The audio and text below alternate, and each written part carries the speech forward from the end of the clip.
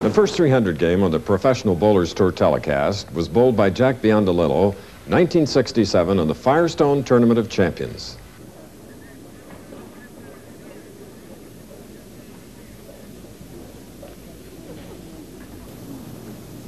Is it quiet in here? But not now. Number 10. All right. What a beautiful ball that was. Oh, has this man got the control going for him today? Ten in a row. All right, here's uh, slow motion stop action here. Let's watch Jack here in slow motion. Look at this deliberate. The reaction. All the way in reaction on that ball. Look at this. Look at this. Down on his knees. Now we're back we go. Back live. Number 11.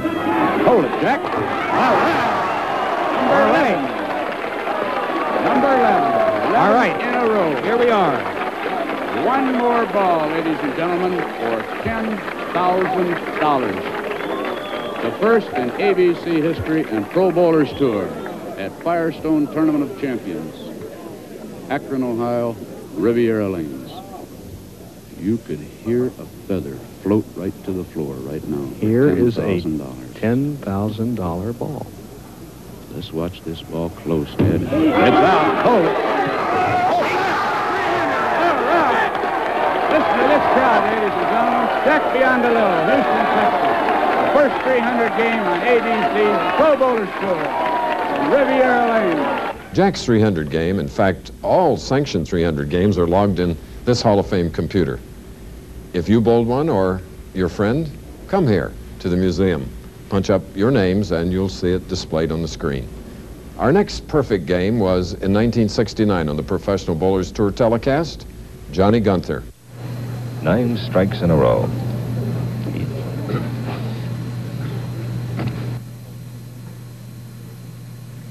The man and the ball.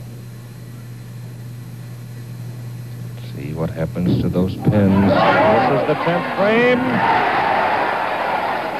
Ten in a row for Johnny Guenther. Very confident, too, Keith. He likes that angle. He's playing it direct, catching the track late. Ball is settling in the pocket. I think we could very well see him do it here, Keith.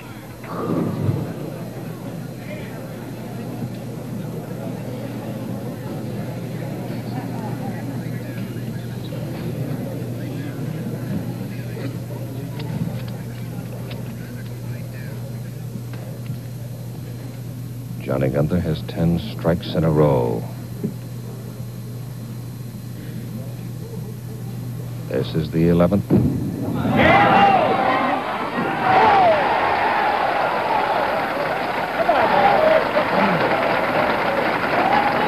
That's it, Keith. When you get that 11, the crowd really comes alive because they know that now this is it. There you see it. 11 big strikes in a row. And now for the all-important 12. $10,000 and a new Cougar, all on this ball. There's nothing left to say. Let's just watch it.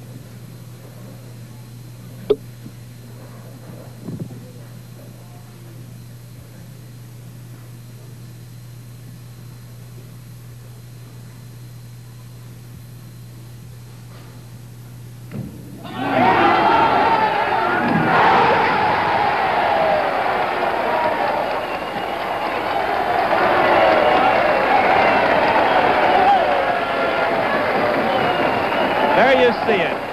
It tells a story. The crowd tells the story. Nelson, as we entered the 70s, there were even more changes. You're right, Chris. Bowling continued to grow in popularity, and bowling lanes were starting to wear too much. The lacquer surface we had in the 1950s and 60s just wouldn't hold up to this increased lineage.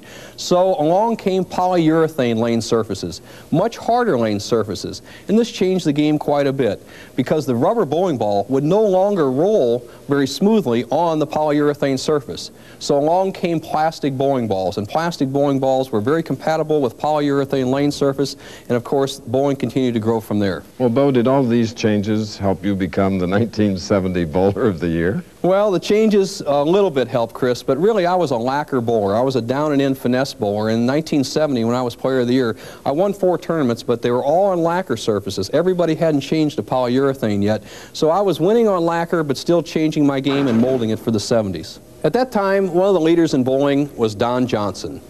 In the late 1960s, on lacquer surfaces, Don was a fairly good player on the Pro Tour. But as urethane lanes came in and plastic balls of the 70s, Johnson came to the forefront. Now, Don is best remembered for not the perfect 300, but for a near miss.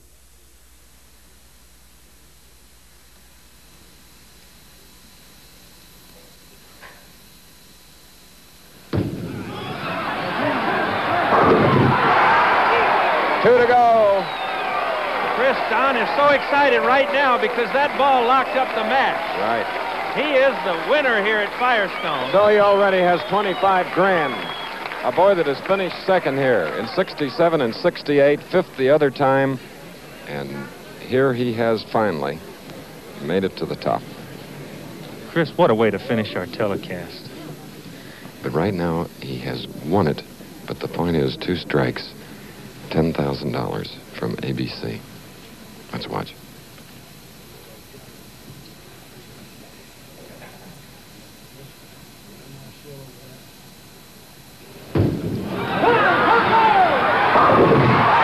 Oh! All Chris, right. look where he is.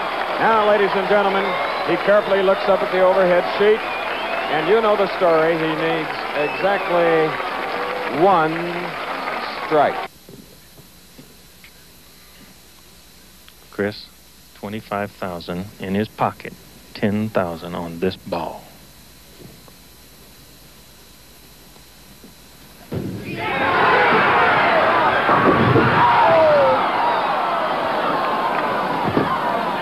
Solid 10, Chris. Unbelievable. And the very last ball, Don Johnson, a tremendous hit. There's Marianne Johnson. Well, obviously, I'm probably remembered most because uh, of the 299 game. Uh, again, a lot of people feel sorry for me because I left the 10 pin, and uh, it was probably the best ball I threw. That's why I got nine. That's what I tell everybody. And I'll never forget one of the owners of the Go Palm, Sam Service, told me that night. He says, "Tomorrow you're going to bowl 11, 12 balls. That's all you're going to throw is 12 balls." And he was right. That's all I threw was 12 balls. Don Johnson, the Kokomo Kid, won 26 championships and bowled numerous 300 games. But he'll always be remembered by this reaction to his 299 victory at the Firestone Tournament of Champions. Don Johnson was a dominant player in the early 70s. All the rest of the players had to make a change from the rubber ball. That meant learning a new grip. The plastic ball was slippery. Number two, they had to learn to throw harder because the plastic ball hooked a lot more. Now, the manufacturers continued to improve on the bowling balls in the 1970s, making them more and more powerful. And nobody epitomized the power of the 1970s than Mark Roth. Mark was Bowler of the Year four times, and with his power, we could always expect the impossible.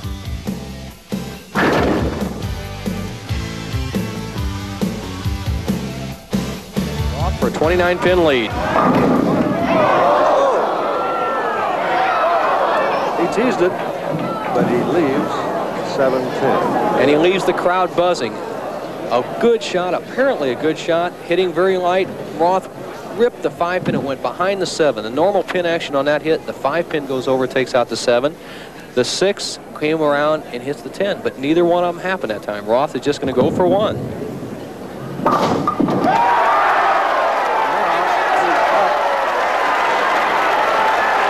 17, but open.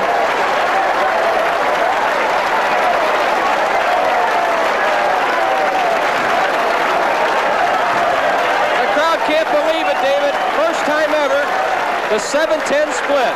We've seen 300 games, we've seen everything. What a turnaround.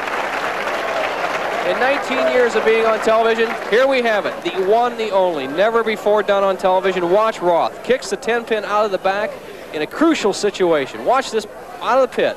There it goes. What an unbelievable shot.